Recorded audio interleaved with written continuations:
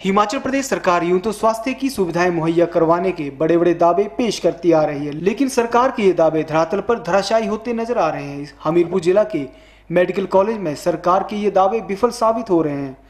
नदौर तहसील से आए गाँव बटरान के निवासी सुशील पटियाल की माने तो उन्होंने बताया कि बीपीएल परिवार से संबंधित होने के बावजूद भी मेडिकल कॉलेज में दवाइयाँ नहीं दी गई।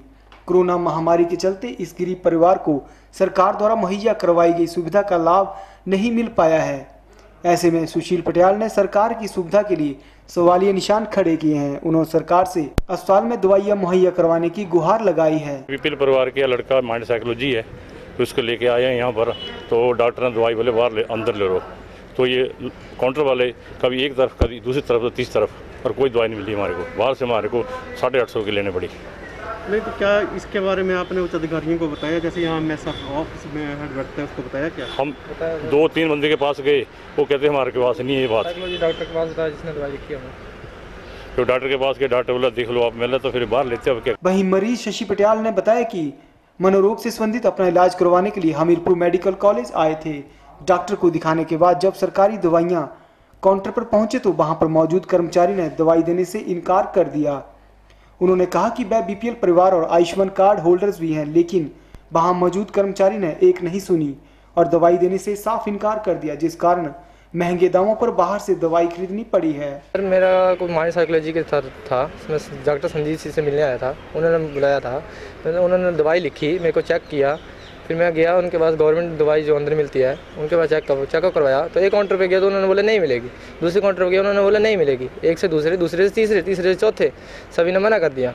डॉक्टर के पास फिर से गया अभी सर, दवाई नहीं दे रहे हैं, हम बी परिवार में दवाई नहीं दे रहे हैं।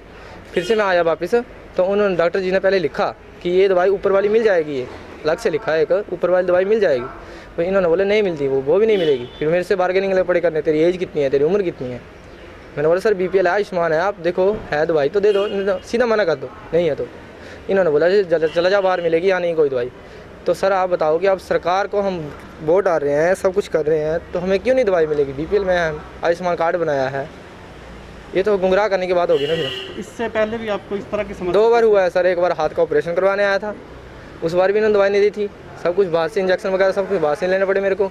जो नीडेड है वो नहीं देते हैं वो बाहर है मेरे को तो ये लगता है वहीं मेडिकल कॉलेज के वरिष्ठ चिकित्सा अधिकारी अनिल वर्मा ने बताया कि इसके बारे में उन्हें कोई शिकायत नहीं आई है आयुष्मान और हिम केयर की जो स्कीम है, उसमें हम जो भी पेशेंट हमारे एडमिट होते हैं स्कीम के अंडर में, क्योंकि इंडोर के लिए है स्कीम तो उनको हम दवाइयाँ यहाँ स्टोर से देते हैं। और इन केस कोई अगर दवाई हमारे स्टोर में नहीं है, क्योंकि दवाइयाँ काफ़ी तरह की दवाइयाँ हैं, हज़ारों तरह की कोई ऐसी दवाई है जो हमारे स्टोर में नहीं है तो हम जन औषधि या सिविल सप्लाई से परचेज करके उसको इमीजिएटली मिल जाती है। हमने दो फार्मासिस्ट ड्यूटी पर लगाए हुए हैं, जो कि भाई उसको सुनिश्चित करते हैं कि आयुष्मान हिम केयर की दवाइयाँ पेशेंट को मिल जाए। सब इंडोर, ये इंडोर के लिए है स्कीम